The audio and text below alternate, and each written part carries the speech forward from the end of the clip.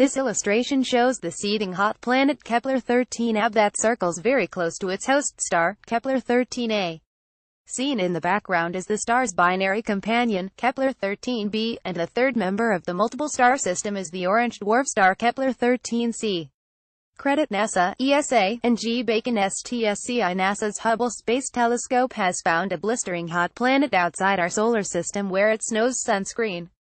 The problem is the sunscreen titanium oxide precipitation only happens on the planet's permanent nighttime side. Any possible visitors to the exoplanet, called Kepler-13ab, would need to bottle up some of that sunscreen, because they won't find it on the sizzling hot daytime side, which always faces its host star. Hubble astronomers suggest that powerful winds carry the titanium oxide gas around to the colder nighttime side, where it condenses into crystalline flakes, forms clouds, and precipitates as snow. Kepler-13ab's strong surface gravity, six times greater than Jupiter's, pulls the titanium oxide snow out of the upper atmosphere and traps it in the lower atmosphere. Astronomers using Hubble DID&T look for titanium oxide specifically. Instead, they observed that the giant planet's atmosphere is cooler at higher altitudes, which is contrary to what was expected. This finding led the researchers to conclude that a light-absorbing gaseous form of titanium oxide, commonly found in this class of star-hugging, gas giant planet known as a hot Jupiter, has been removed from the Dayside's atmosphere. The Hubble observations represent the first time astronomers have detected this precipitation process, called a cold trap, on an exoplanet http exoplanets.nasa.gov. Without the titanium oxide gas to absorb incoming starlight on the daytime side, the atmospheric temperature grows colder with increasing altitude.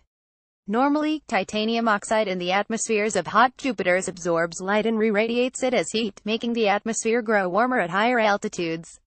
These kinds of observations provide insight into the complexity of weather and atmospheric composition on exoplanets, and may someday be applicable to analyzing Earth-sized planets for habitability.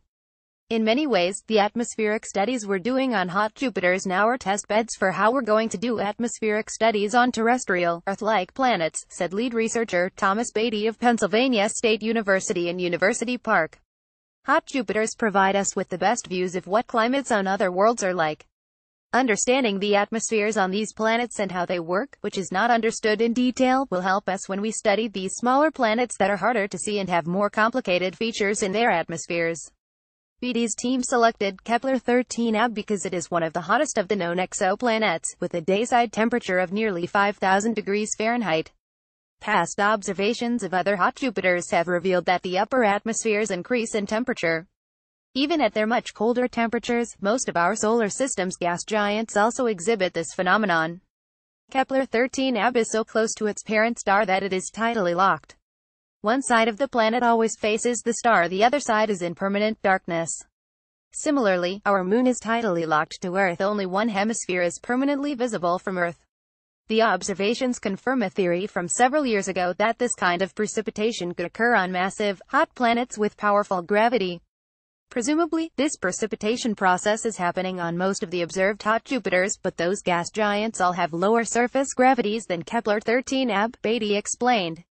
The titanium oxide snow doesn't fall far enough in those atmospheres, and then it gets swept back to the hotter dayside, revaporizes, and returns to a gaseous state. The researchers used Hubble's Wide Field Camera 3 to conduct spectroscopic observations of the exoplanet's atmosphere and near-infrared light.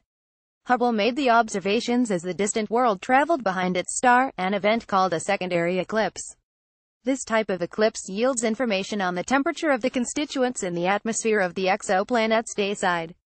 These observations of Kepler-13ab are telling us how condensates and clouds form in the atmospheres of very hot Jupiters, and how gravity will affect the composition of an atmosphere, Beatty explained.